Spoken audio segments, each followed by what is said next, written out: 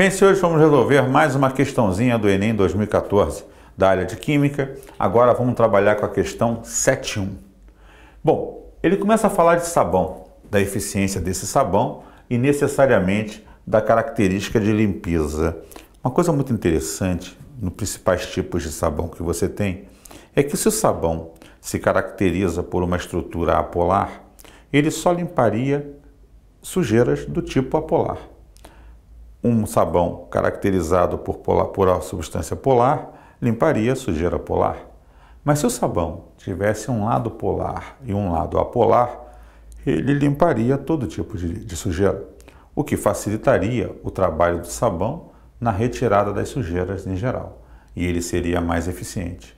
Por isso, tensoativos e substâncias anfóteras são melhores para fazer esse tipo de limpeza. Isso de uma forma geral a se pensar no processo de limpeza. Agora vamos ver o que ele diz.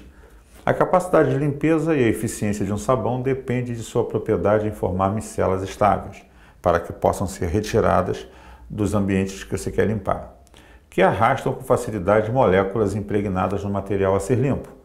Tais micelas têm em sua estrutura partes capazes de interagir com substâncias polares, como água, e partes que podem interagir com substâncias apolares, como gordura e óleo. Aí o sabão é muito mais efetivo, ele tira tanto o polar quanto o apolar. Então ele pergunta qual a substância capaz de formar as estruturas mencionadas.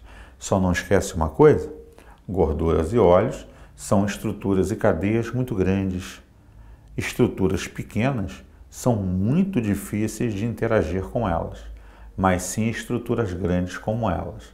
Isso é uma dica para que você faça uma análise mais completa. Sendo assim, a primeira substância era um hidrocarboneto. Se é um hidrocarboneto, ele é só apolar. E eu quero alguém que tenha característica polar e apolar. Um composto de sal orgânico, muito bom, a gente vai analisar melhor já já. Um outro composto base em sal orgânico, mas observa o que eu falei, uma cadeia pequena. Um ácido, que é uma substância polar. Então essas cadeias pequenas têm uma pequena polaridade que é imperceptível, o que faz com que eles sejam muito mais polares do que polar, do que apolar. Então se eu tenho alguém só apolar ou alguém praticamente só polar, eu não consigo estabelecer reações e interações com um lado polar e apolar. Aqui só interage com apolar, aqui só interage com polar. Na última letra, eu tenho um éter muito pouco polar. E por ser muito pouco polar, não será, por uma cadeia pequena, fácil de interagir com moléculas polares. Ele está mais para interação com moléculas apolares. Então, me resta analisar aquela estrutura. Primeiro, por ser uma cadeia gigantesca, derivada de um ácido graxo, com certeza me facilita ter um lado apolar que vai necessariamente associar-se a gorduras e óleos. E o lado de cá, que pela ligação iônica do sódio com o oxigênio, trata de uma estrutura bem polar o que caracteriza a dissolução na parte polar do jogo. Então eu tenho uma molécula que atende tanto à solubilidade de moléculas apolares quanto a de moléculas polares.